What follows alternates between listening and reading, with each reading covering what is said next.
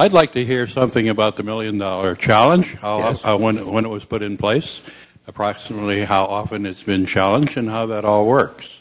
Well, it's um, sort of a fuzzy period in history. For a long time, it was a $1,000 challenge. Started in 1968 when I was appearing on a radio program in New York City with a uh, parapsychologist who has uh, since then become a very good friend of mine, uh, Stanley Krippner. He worked for the Saybrook Institute in San Francisco.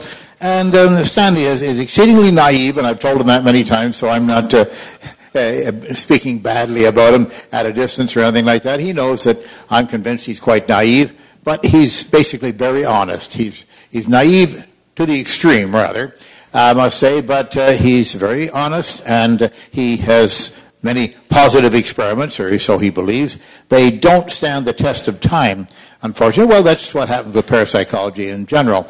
But I believe he's uh, very dedicated and very honest, and I, I couldn't imagine that he would. Uh, that he would fake anything or uh, misrepresent anything at all. At that time on that radio program, um, one of the people present, it might have been Stanley for all I remember, he said, Why don't you put your money where your mouth is? And I said, Okay, all right, I'll give $100 to any of these psychics who say they. Now, this is 1968. That was a lot more money at that time. I don't know that I had $100, but I hope I did, because I'd hate to be dishonest. You know how I, I would never deceive anybody. But uh, eventually, uh, when it got to be known and people said, wow, you're really doing, you're going to offer $100? I made it $1,000. I didn't always have that $1,000. Then I eventually made it $10,000. And I made sure from that point on it was getting serious. I always made sure I had the $10,000 in the bank. Now, I will admit to you that every now and then I'd have to take a couple hundred dollars out of that, but I'd put it back within a matter of days. But uh, generally speaking, the $10,000 was in the bank. Now, that grew over the years until uh, Lexington Broadcast, uh, Broadcasting Syndication, they uh, offered me a, a show that they wanted to call a $100,000 uh, psychic prize. and I put in my $10,000, they put in 90 And so it was $100,000. That was a program with Bill Bixby as the host, as a matter of fact. And I'll t- I got to tell you one funny episode from that. The, astro- the astrologer came along, and uh, we, we put ads in newspapers and magazines all across the country, and we eventually centered it out. We dismissed the guy who said that he could fly by flapping his arms. He literally wanted to go to the window and show us right then.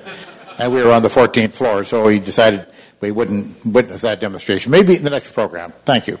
Um, but the astrologer said that he could tell what sign somebody was born under. I won't get into what that means, but uh, he said if you get people out of the audience that are born under 10 different signs, or uh, 12 different signs, I'm sorry. There are 12, you have to get 12, yes. Um, and they can prove it by their driver's license, you see, date of birth on it. He said, I will be able to sort them out into the 12 different signs of the zodiac. Well, we said, as long as you don't ask them their birth date. No, no, I wouldn't ask them that. But he did ask some questions. I listened to part of it. Um, when you see motion pictures, you prefer a mystery over a comedy? And uh, if you're choosing uh, colors for to, to decorate a home, would you choose pastels rather than solid colors or white? And, and things like this. Do you like hot foods or do you not like hot foods? And it went on and on like this. Um, and at the end of that, he gave them little sealed envelope. Inside the sealed envelope uh, was their zodiac sign. And if it said Virgo, it had the funny little V-shaped thing on it, and it said Virgo underneath it. And he'd give them that, but it was sealed up. They didn't know what they'd gotten. And he went through all 12 like that. Announced at the end of it that he was quite confident he'd get 12 correct out of 12. And he, uh, the way we did the thing is we had the 12 zodiac signs set up, a, very big set, big studio in, in Hollywood. Big studio, big set, and all 12 signs were there. The instructions were to the people, come out in a group, stand in the middle. Now open up your envelopes, look at the sign that's inside the envelopes, and go to that sign and stand under the uh, little arch. And they all did that, and they'd look around and they'd go over and stand under the arch. Okay, you all there now? Right. That's the sign that you were assigned to. If that's not the correct sign, go to the correct sign now. Eleven of them moved and went to the right sign. One out of twelve is exactly what chance would call for. To his credit, the astrologer uh, told me that afterwards he said no. He, he realized maybe he didn't have the ability to do this, but astrology still works, you see, of course. But he didn't have the ability to do that. And uh, gee, he really regretted that and couldn't quite understand it. Many years afterwards, he published something where he said, "Oh, I found out why it didn't. They faked the driver's licenses." so how can you win? But at that program, it was hundred thousand dollars. Then it became one million dollars when uh, people started to remind me maybe hundred thousand dollars isn't all that attractive, and I thought, well, sorry, that's uh, all we can manage. You know, hundred thousand dollars. I only had ten thousand dollars for that. No, we've got to. Um, got to expand it somehow. Then a gentleman, a very obviously wealthy gentleman, came to me and he said, You should have more teeth to your challenge. And uh, he said, I'll give you a million. I thought about that for 20 seconds and I agreed that that would be a good idea. Gave us a check for one million. We deposited it in a, an interest-bearing account uh, with Goldman Sachs, and the provision was that it was called the James Randi uh, uh, Challenge, uh, James Randi Educational Foundation uh, Challenge Fund and it was stuck in there, and we can't use it for anything. We can take the interest off the top of it every year if we want, but we can't use it for anything except to award to a psychic who wins it. So it's isolated, it's there. And the people who say, oh, there's no million dollars or anything, we immediately send them the latest uh, financial statement with what that uh, prize now amounts to before we take the interest off it at the end of the year. So um, it's there.